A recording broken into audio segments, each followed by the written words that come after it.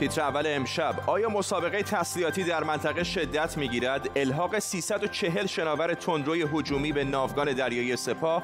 خرید چند میلیارد دلاری سلاح از آمریکا توسط اسرائیل. فرمانده کل سپاه به کشورهای منطقه هشدار داده در دوستی با اسرائیل. افراط نکنید.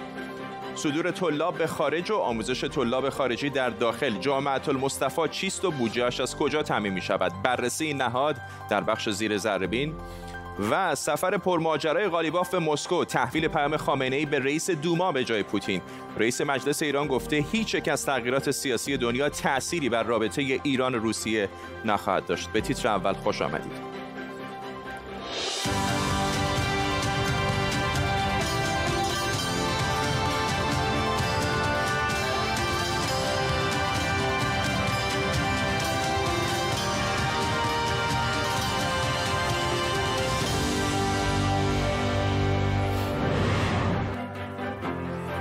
سلام و وقت بخیر. حسین سلامی فرمانده کل سپاه پاسداران امروز در مراسم الحاق 340 فروند قایق‌های تندرو به نیروی دریای سپاه گفته سیاست فشار حد اکثری آمریکا شکست خورده و ایران از تحریم ها عبور کرده.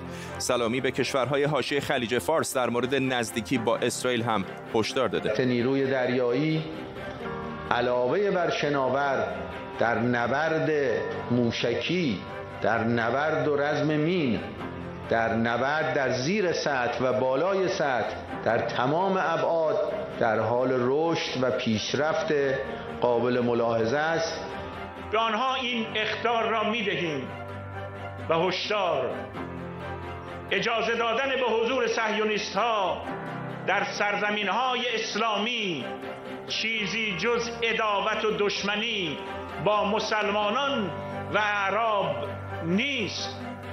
همزمان اسرائیل طرح خرید چند میلیارد دلاری تجهیزات پیشرفته نظامی از آمریکا را تصویب کرده. ارتش اسرائیل هم برای مقابله با تهدید ایران درخواست داده 300 میلیون دلار به بودجهش اضافه بشه. در طول برنامه تیمی از کارشناسان و همینطور خبرنگارانمون از اورشلیم و مسکو و واشنگتن با ما خواهند بود. پیش از همه بریم سراغ فرزین ندیمی تحلیلگر مسائل امنیتی و دفاعی در مؤسسه واشنگتن از همین شهر در پایتخت ایالات متحده آمریکا. آقای ندیمی قایق‌های تندرو نقش پررنگی بازی کردند در این سالهای اخیر برای سپاه پاسداران در خلیج فارس. این ناوگان جدیدی که در واقع امروز رونمایی شده چقدر می‌تونه موازنه قدرت رو در خلیج فارس تغییر بده؟ همونطور که فرمودید نیروی دریایی سپاه مبتنی بر قایق‌های تندرو و تعداد زیادی از قایق‌های تندرو هست تا بتونه تاکتیک‌های هجومی چند جهتی رو به به هدفهای دریاییش انجام بده. خب طبیعتا اضافه شدن 340 شناور هجومی باعث میشه که بتونه بهتر این این تاکتیکا رو انجام بده. البته خب در سالهای اخیر هم کشورهای منطقه سعی کردن بر توانایی دفاعی خودشون با اتکا بر توان دریایی ایالات متحده و با همکاری نزدیکتر با توان دریایی ایالات متحده اضافه بکنن. آمریکا تاکتیک های جدیدی رو برای مقابله با قایق های هجومی و حملات قایق های هجومی کار کرده با استفاده از توان هوایی خودش و همکاری بین توان هوایی دریایی و کشورهای منطقه. خب از طرف دیگه هم سپاه نیروی دریایی سپاه سعی می‌کنه که با اضافه کردن به تعداد قایق های هجومی خودش بر این معادله از سمت خودش اضافه بکنه. اون اصل بازدارندگی فعال خودش رو بتونه فعالتر بکنه. خب حالا باید دید که این افسوده شدن این قایقها به تعداد زیاد در منطقه خلیج فارس چه تغییری از اون چیزی که فعل همچنان در حال حاضر وجود داره به وجود خواهد آورد؟ بیشتر در حد انبار کردن این قایق‌ها در در دپوهای غیر زیرزمینی هستش تا در صورتی که اگر شرایط جنگی پیش اومد از اون استفاده بکنیم. ولی به هر حال خلیج فارس محدودیت هم داره از نظر ظرفیت تجهیزات. آقای ندیمی اگر اشتباه می‌کنم منو اصلاح بکنم ولی در این اواخر به نظر میومد که سپاه پاسداران به خصوص در دوران زمامداری آقای ترامپ کمتر و کمتر از این قایق‌ها برای تهدید کشتی های آمریکایی و بریتانیایی و دیگر کشتی ها استفاده می‌کرده. اینطور هست آیا واقعا یا نه؟ در زمانها اینطور بوده. بستگی به سیاست هایی که از بالا بهشون داده می شده یه زمانهایی کمتر دخالت می‌کردن از هواپیمای بدون سرنشین بیشتر استفاده می شده یه زمانهایی یعنی قایق ها دستور پیدا می‌کردن که دخالت بیشتری انجام بدن. ولی خب یه مقداری الان شرایط عوض شده. با توجه به صلح ابراهیم و نزدیک شدن کشورهای خلیج فارس به اسرائیل و اینکه خب به حال آمریکا باید با واقعیت های جهانی جدیدی روبرو شده طبیعتا ایران نگران این هستش که نقش اسرائیل در منطقه بیشتر بشه. جنرال مکنزی هم در صحبت اخیرش گفته که اضافه شدن اسرائیل به منطقه فرموده مرکزی باعث عملیاتی شدن همکاری نظامی اسرائیل با کشورهای خلیج فارس خواهد شد. این باعث نگرانی اصلی ایران هستش. فرزین ندیمی تحلیلگر امور دفاعی امنیتی در مؤسسه واشنگتن از پایتخت آمریکا. ممنونم از شما. امروز جلسه دادگاه بنیامین نتانیاهو نخست وزیر اسرائیل به اتهام فساد سیاسی و مالی تحت تدابیر شدید امنیتی در اورشلیم برگزار شد. نتانیاهو به رشوه، کلاهبرداری و نقض اعتماد عمومی متهم. البته نتانیاهو در جلسه دادگاه همه اتهامات علیه خودش رو رد کرد. اشکان صفای همکارم در اورشلیم با ماست اشکان بیشتر به ما بگو در مورد جلسه دادگاه دفاعیات آقای نتانیاهو چطور بود و دادستانها به دنبال چه هستند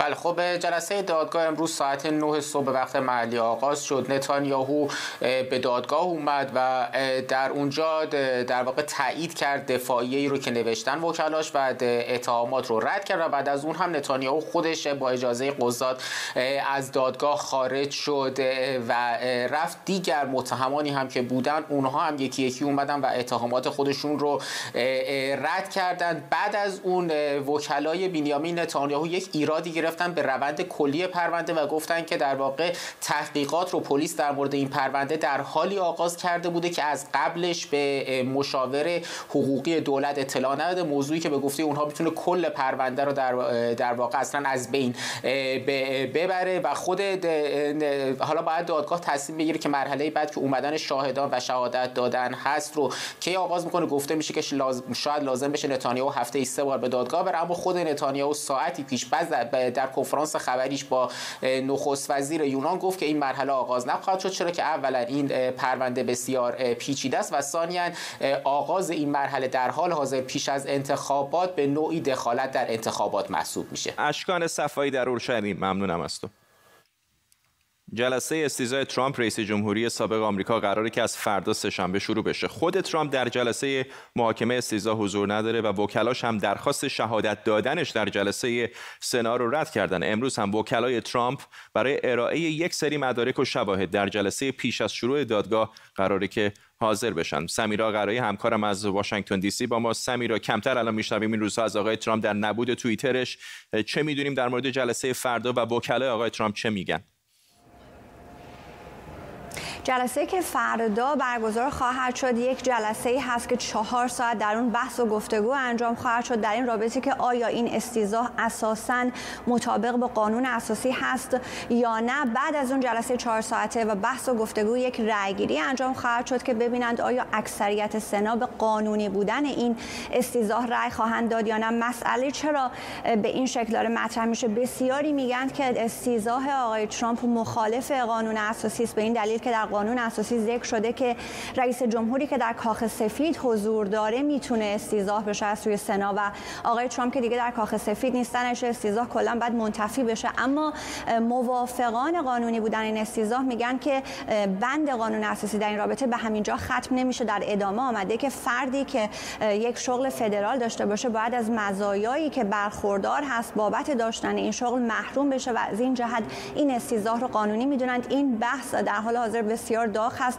فردا تکلیفش روشن خواهد شد. بعد از جلسه فردا 16 ساعت بحث و گفتگو خواهد شد. ادله هایی ارائه خواهد شد و بعد از اون در روز دوشنبه خواهیم دید که آیا سنا شواهدی افرادی رو دعوت خواهد کرد برای اینکه بخوان بیان صحبت بکنند. اون جلسه 16 ساعت ممکن هست که روز شنبه به خاطر اینکه یکی از وکلای آقای ترامپ یهودی است و گفته روز شبس نمی‌تونه در مراسم سنا حضور داشته باشه. ممکن هست که منتفی بشه.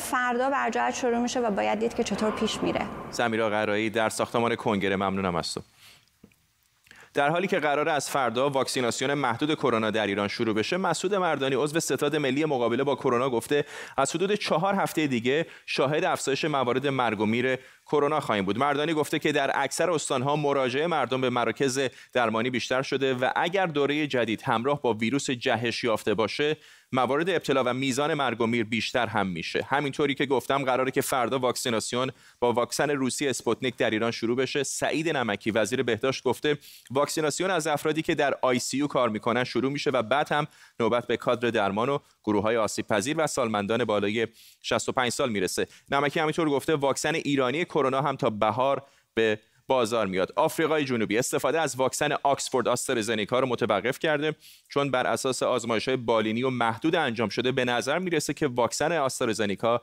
در برابر کرونا گونه جهش یافته ویروس در آفریقای جنوبی کارایی محدودی داره. همکارم بهاره خداوند اینجا در استودیو با ماست. بهاره خبر خوبی برای آکسفورد آسترازنیکا نیست. آفریقای جنوبی گفته که داره متوقف می‌کنه ولی مابقی کشورها الزاما همین مسیر رو دارن دنبال نمی‌کنن. درسته. بذار اینو بگم که هیچ اتفاق غیر منتظره ای نیافتاده فرداد ما از اول می‌دونستیم که ویروس ها جهش پیدا می‌کنن. می‌دونستیم که واکسن ها ممکنه مجبور بشن خودشون رو تغییر بدن برای اینکه پای پای این جهش بتونن جلو برن. تحقیقاتی که آسترازنیکا ازش حرف می‌زنه الان که محدودیت رو در واقع باش معرفی کرده تحقیقات محدودی است در مراحل اولیه‌شه. اینها 2000 نفر از داوطلبینی که در دهه سی زندگی یعنی در واقع میانگین سنشون سی سال بوده رو روشون آزمایش کردن روشون تحقیقات کردن که اینها همشون از سلامت کامل برخوردار بودن و ویروس کرونا این ویروس گونه جهش یافته آفریقای جنوبی روشون خیلی تاثیر محدودی داشته خیلی عوارض خفیفی رو تجربه می‌کردن. برای همین این نتایج روی اون عوارض خفیف ما می‌دونیم که خیلی تاثیرگذار نبوده فقط 22 درصد تاثیرگذار بوده. هنوز هیچ شواهدی وجود نداره که نشون بده که آسترازنکا در در واقع باعث جلوی مرگ و میر رو نمی‌گیره. مرگ و میر به خاطر این گونه ویروس رو نمی‌گیره یا اینکه جلوی عوارض وخیم این ویروس رو نمی‌گیره. دلیل اینکه آفریقای جنوبی ازش استفاده نمی‌کنه اینه که 90 درصد از افرادی که در آفریقای جنوبی به ویروس کرونا مبتلا هستن الان به این گونه خاص ابتلا دارن. برای همینم وقتی می‌خواد واکسیناسیونش رو شروع کنه طبیعتا به خصوص که انتخاب های دیگه مثل فایزر یا جانسون ان جانسون هستن که تاثیر بیشتری روی این گونه خاص دارن خب طبیعتا با اونها شروع می‌کنه. اینطوری که دولت آفریقای جنوبی میگه یک میلیون دوزی که از این واکسن خاص رو تهیه کرده تا الان اونها رو نگه میداره و منتظر خواهد شد که پزشکان در واقع نتایج آزمایش و تحقیقات رو کامل بکنن و بهشون توصیه بکنن که چطور از این واکسن ها استفاده بکنن. اینو تاکید می‌کنم که می‌خواد استفاده بکنه همچنان و قصد نداره که این واکسن ها رو در واقع کنار بذاره. ممنونم از تو بهاره خدابنده همکارم اینجا در استودیو با ما. به گفته مدیرانش از منچستر و نیویورک تا ماداگاسکار و کاستاریکا امتداد یافته. مدیرانی که مستقیما با تایید علی خامنه ای بر مسند میشینند. امشب جامعه المصطفى العالمیه که مرکزی است برای تربیت و صدور طلبه رو زیر ذره می‌بریم.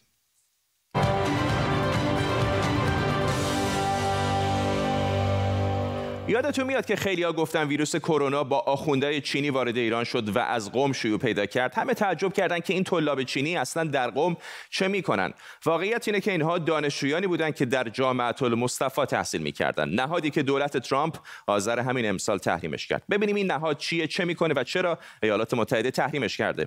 کار اصلی این نهاد اگر بخوام به زبان ساده بگم تربیت و صادرات آخونده یا به زبان اساسنامه این نهاد تربیت مدرس و نشر و ترویج اسلام ناب محمدی. در صد نقطه دنیا مرکز آموزشی دارن از ماداگاسکار و لبنان و سوریه بگیرید تا آلمان و آرژانتین.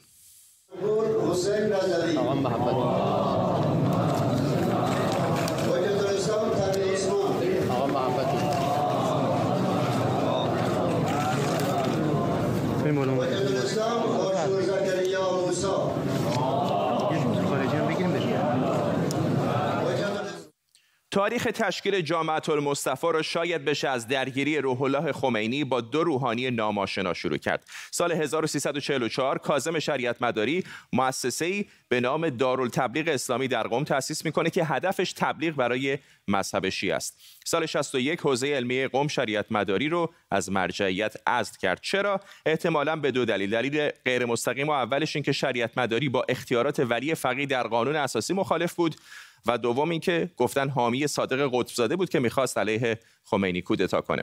طرفداران خمینی هم به دارالتبلیغ حمله می‌کنند که طلاب غیر ایرانی هم که اونجا درس میخوندن کتک می‌خورن.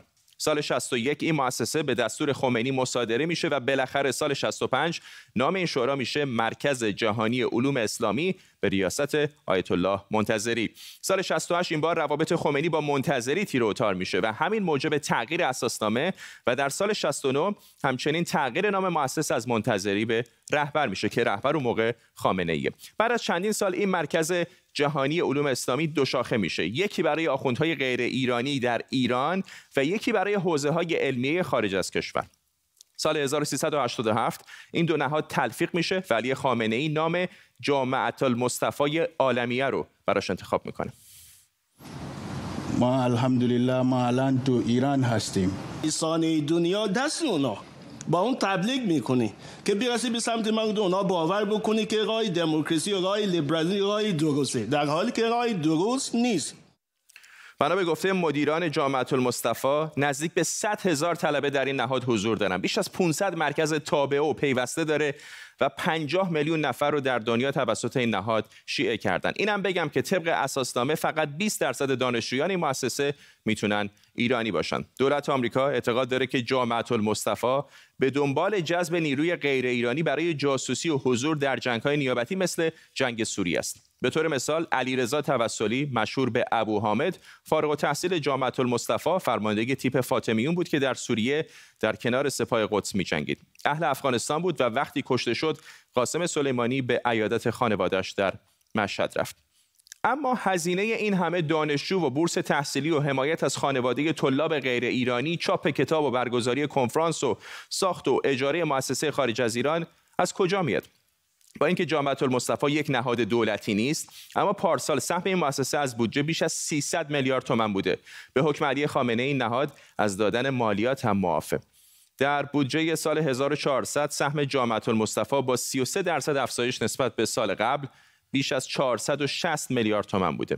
این غیر از کمک های مالی متفرقه دیگریه که به این نهاد میشه. بودجه جامعه المصطفى 95 میلیارد تومان بیشتر از سازمان غذا و دارو و تقریبا 16 برابر ستاد مبارزه با بحرانه. روزنامه مشرق وابسته به سپاه پاسداران در پاسخ, پاسخ انتقادها به جامعه المصطفى نوشته بود جامعه المصطفى بذر ارزش های اعتقادی انقلاب رو در دل هزاران آخوند خارجی میکاره و در شکل گرفتن محور مقاومت دخیله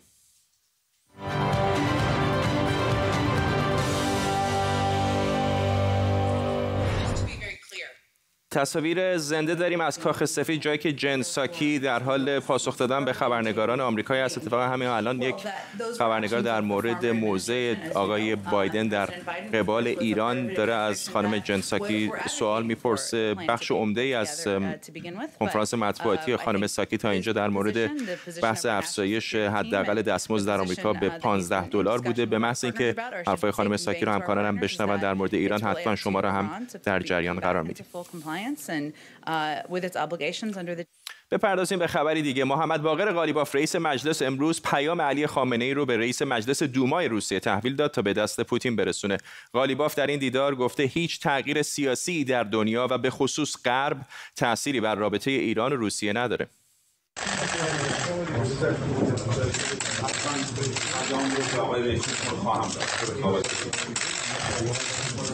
و اینو ما فورا انجام سریعا و فورا انجام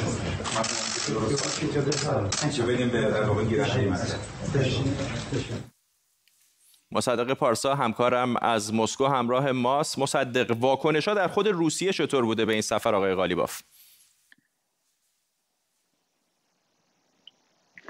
فرداد اونطوری که در ایران سفر آقای قالیباف خیلی آشیه برپا کرده و خیلی سر صدا به کرده در روسیه از این خبران نیست. یعنی خیلی سفر آقای قالیباف کدام سفر خاص یا سفری که خیلی پر سر صدا و پر آشیه باشه در داخل روسیه؟ نبوده. خب سفر رسمی یک مقام دولتی است. من شخصا حالا به عنوان یک خبرنگاری که رسانه های روسی در پی هم دنبال می‌کنم فکر می‌کنم در سفرهای مقامات دیگر از جمله سفرهایی که محمد جواد ظریف به روسیه میآید فضای اطلاعاتی روسیه بیشتر پوشش میده تا سفر آقای قالیباف. خب یک سفری است که هیئت های مجلس ها در همه جای دنیا دارن. فکر می‌کنیم این سفر بیشتر مشاوران و نزدیکان آقای قالیباف در خود ایران تبدیل به یک سفر پرهاشیه و با سر و صدا ساختن و خیلی هم بزرگ نمایی شد با توجه به اینکه دیدار با ولادیمیر پوتین مطرح شد. در حالی که در روسیه خب خیلی وقت ولادیمیر پوتین بجز این مسئله قره که خب یک مسئله مهم بود یک جنگ بزرگی در یک منطقه به پایان میرسان دیدار داشت با رؤسای جمهور دو کشور ولی کلا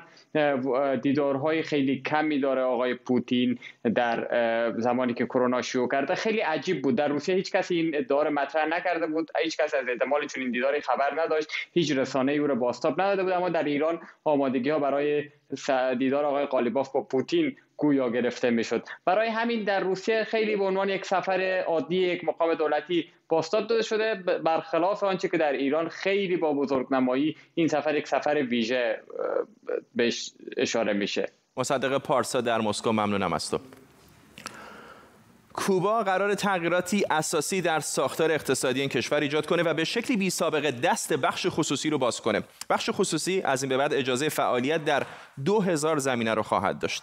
اینجا کوباست. یک جمهوری سوسیالیستی درست کنار گوش آمریکا در کنار کارائیب.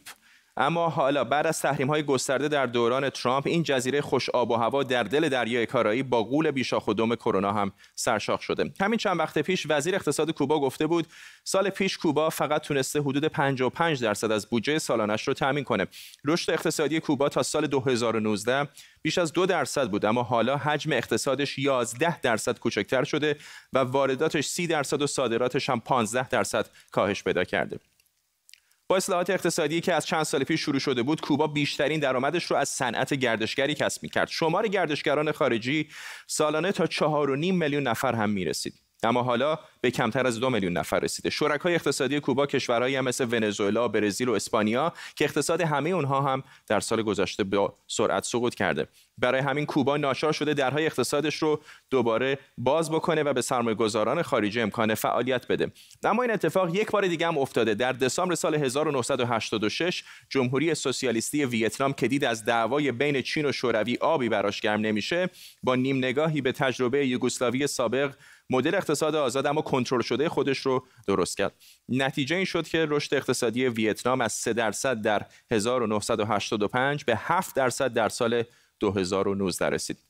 دولت کوبا که حالا با انتقادات زیادی هم روبرو شده میگه چاره ای نداره جز اینکه یارانه ها رو به تدریج کم کنه. کوبا از ابتدای سال میلادی برنامه اصلاحات اقتصادیش رو به اجرا گذاشته. اگه چگوارا و فیدل کاسترو الان زنده بودن شاید خیلی از این برنامه خوششون نمیومد ولی به قول رئیس جمهوری کوبا میگل دیاز کانل در شرایط بحرانی باید تصمیمات انقلابی هم گرفت. تصمیم انقلابی کوبا هم حالا باز کردن درهای اقتصادش به روی بخش خصوصیه. همکارم امید حبیبینی از خانه در مرکز لندن با ماست. امید یک بخشی از اقتصادشون رو باز کرده بودن بخش کوچیکی مثل سلمونی ها و اینها ولی به نظر میاد این برنامه جدید خیلی گسترده تر هست. خب آره در واقع این سال 2021 سال سرنوشت ساز هست برای کوبا. خیلی این را با دوره دوره استثنایی یا دوره مخصوصی که بعد از فروپاشی بلوک شرق در واقع رخ داد برای کوبا مقایسه می‌کنن که در اون دوران در واقع اقتصاد کوبا به شدت ضربه دید حالا کوبا اومده با اصلاحات اقتصادی که در در واقع دو سال پیش یعنی فوریه 2019 رفراندومش رو برگزار کرد. اومده تسهیلات بیشتری رو داده به بازار آزاد به خاطر اینکه بتونه جبران وضعیت بحرانی کشورش بکنه. یعنی اگر ما در نظر بگیریم که یک مثلثی هست تحریم های آمریکا از یک طرف بحران کرونا از یک طرف و بحران بدهی های بسیار که گفته میشه می‌رسه به سی میلیارد دلار که تقریبا سه برابر بدهی های خارجی ایران هست سر برآورده و در واقع دولت کوبا چاره ای نداره. برای اینکه اقتصاد رو در واقع باز بکنه و تحصیلاتی را که در قالب یارانه ها به مردم می‌داده کمتر بکنه. این برنامه اصلاحات اقتصادی که گفتم از فوریه 2019 شروع شده و موضوع اصلیش هم همون در واقع اقتصاد بازار آزاد هستش که و دادن در واقع اختیارات بیشتر به بخش خصوصی برای مشاغل کوچیک مثل مثلا تعمیرات مثل آرایشگری مثل بقالی مثل در واقع همین چیزایی که مربوط میشه به خدمات عمومی. این و به خصوص صنعت گردشگری که توی سالهای گذشته کوبا در واقع بیشترین درآمدش رو از گردشگری به دست می آورد و امسال به نصف هم کمتر رسیده. یعنی تقریبا یه چیز در حدود دو میلیون اومدن این باعث میشه که شاید ما اعتراضاتی رو در کوبا شاهد باشیم به خاطر اینکه بخش عمده ای از یارانه ها چه مستقیم و چه غیر مستقیم لغو میشن علیرغم اینکه حقوق بازنشستگان و کارمندان دولت افزایش پیدا می‌کنه. اون حرم وارونه ای که در مورد مدیران بود در واقع برعکس میشه چون مدیران کمتر حقوق می‌گرفتن از کارکنان حالا گفتن مدیران هم بیشتر حقوق می‌گیرن. همه این اتفاقات وقتی بیفته وقتی ما الان می‌بینیم که در کوبا و هاوانا وقتی کسی در واقع می‌خواد بره خرید کردن قیمتی رو که در روز صفر اول ژانویه می‌خواد برای یک کیلو برنج بده 24 برابر روز قبلش هست یعنی 31 دسامبر. بنابراین وضعیت خیلی بحرانی هست در کوبا در شرایط فعلی. ممنونم از تو. امید حبیبینی ها همکارم در خانه در لندن. دوباره تصاویر زنده داریم از کاخ سفید جایی که جنساکی سخنگوی جو بایدن در حال صحبت است. همطور که کمی پیشتر بهتون گفتم خانم ساکی در پاسخ به پرسشی در مورد وضعیت توافق ای ایالات متحده با ایران به یک خبرنگار پاسخ داده. الان پاسخش رو دارم. خانم ساکی گفته که اگر ایران به طور کامل به تعهداتش در چارچوب برجام عمل بکنه ایالات متحده هم همچین کاری خواهد کرد. دوباره به برجام باز خواهد گشت و شرایط و بستر برای توافقی بزرگتر و محکمتر از حتی برجام هم می‌تونه فراهم بشه. در واکنش به بحث اورانیوم هم خانم ساکی به این بحثی که آمریکا به دنبال توقف کامل غنیسازی اورانیوم هست اشاره ای نکرد. به این ترتیب می‌رسیم به پایان تیتر اول امشب. تا برنامه بعدی بدرود.